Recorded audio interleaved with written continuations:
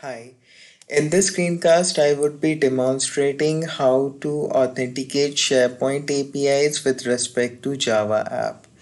In order to authenticate SharePoint APIs, there are two ways how you can do the authentication. One is using shared access key and the second one is using X509 certificates authentication. In this screencast, I would be demonstrating how to authenticate using digital certificates that is X509 certificates. So to get started, we need to first create X509 certificate which, which has public and private key. In order to do that, I have created one PowerShell script, a reusable PowerShell script so I need to open this particular code in my PowerShell ISE. Make sure that you run the PowerShell ISE as an administrator mode. So in this particular PowerShell script, you need to pass parameter of common name, what is the start date or the date on which certificate was created, the end date, the expiry date of the certificate, if there is any existing certificate, do you want to override it or not? So force parameter indicates that. And you need to provide the password. So there are different ways how you can pass the parameter so I will take this particular command line to execute my PowerShell script to generate those certificates. So first I need to cd into the directory where I want to generate the certificate now I can copy this command. I will rate I will name this as SharePoint API cert. The start date should have pattern of year, month and day. So today is 2020 0601 and I will make it expiry after two years.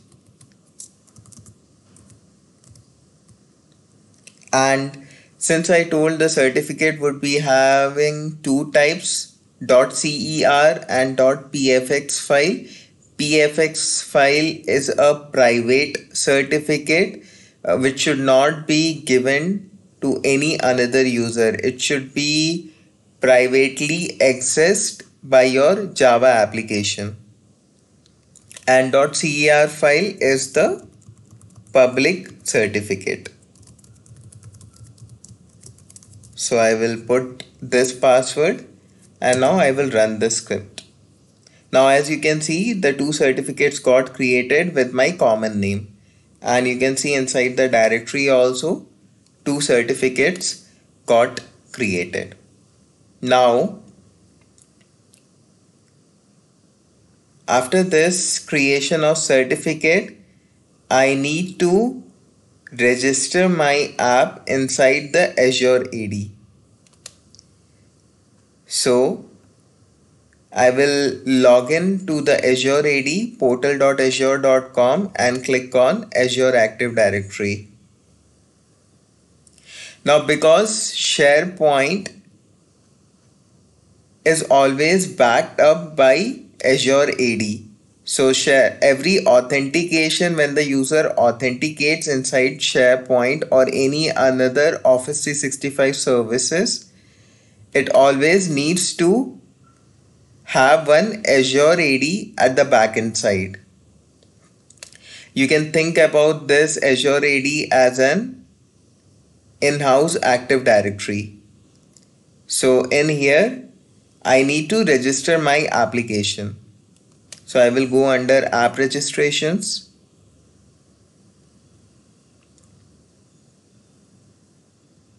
And I will create a new registration. I will put name as SharePoint app title. It should be of single tenant and click on register. Now, after creating an app inside the Azure portal, I need to provide the permission. So, when an application is accessing SharePoint, what all things it needs to have access to. So, to provide the permission, you need to go under API permissions and you need to add the permission. So because I am dealing with SharePoint, so I will pick the SharePoint. And there are two types of permission. One is delegated permission and the second one is application permission. Delegated permission works with user identity, meaning whoever the user is logged into the SharePoint site, depending upon the access, he will get access to the resources. And if you do not want user identity you want to run it as a background job without having any user identity then you need to select the application permission. Application permission is basically used for daemon apps. So inside the application permission there is three levels of permission i will go under site sec section and I will choose sites.read.all meaning it could read all the contents of the SharePoint site created in this tenant but it cannot create any item or it cannot update any item inside the SharePoint site. So that's what sites.read.all permission means. So I will click on add permission after adding the permission because it's an ad application level permission so we need to grant the admin consent because here it's telling not granted for ITC Infotech. So I will just click on grant admin consent, click on yes. Now admin has granted this particular permission. Now, this app needs to get authenticated with SharePoint. In order to do that, I need to go under certificates and secrets and I need to upload the certificate which I created using the PowerShell script. Please note here the certificate should be uploaded .cer file. So I will click on upload and I will go to the same directory. I will select the CER file and click on add. Now the certificate got applied inside this particular app. So the start date as I have given today is the start date and it expires in the year 2022. So this is how you create an app registration inside the Azure AD. Now we will see how we can use this app registration inside our Java app so that it could authenticate and we are able to access the SharePoint APIs. So currently I have opened one REST client Postman REST client in which this is one of the endpoint of SharePoint that I want to retrieve the title of the SharePoint site. So it's an get request and I am pro providing that the response should be returned with JSON format. Now upon clicking on send, you see it's getting access denied. because all SharePoint APIs is a protected resources. So no SharePoint APIs can be accessed anonymously.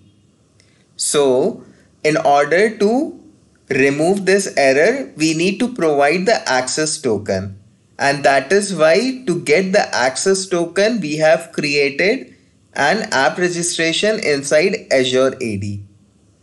Now, because my Java app needs to communicate with SharePoint, so my Java app needs to know certain details from my app registration. So in order to do that, I have a Java app and inside the Java app, I have one class known as authentication.java. So I need to change this property. The code will be shared in the GitHub repo so you can look into the video description and download this particular code. Even the code that is used to generate the certificate, I will provide these all codes inside my GitHub repo, which you can see in the below description of this video. So first, I need to provide a client ID. So how to get the client ID? Because we have registered our app. So I can go under overview section. Here is my client ID. So I will copy this and I will replace this. Authority should be https login.microsoftonline.com but this should be replaced by tenant ID. So again if I go back to my Azure portal and this is my tenant ID. So I will copy this and I will paste it. Now the certificate path. Now this is the certificate that we have to provide the path for the PFX file, not .cer. CER was responsible for uploading it inside the Azure registration. But now here we need to provide the physical path where .pfx file exists. So in our case, it is this particular directory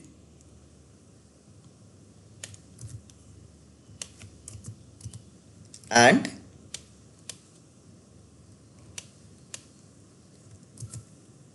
the file name.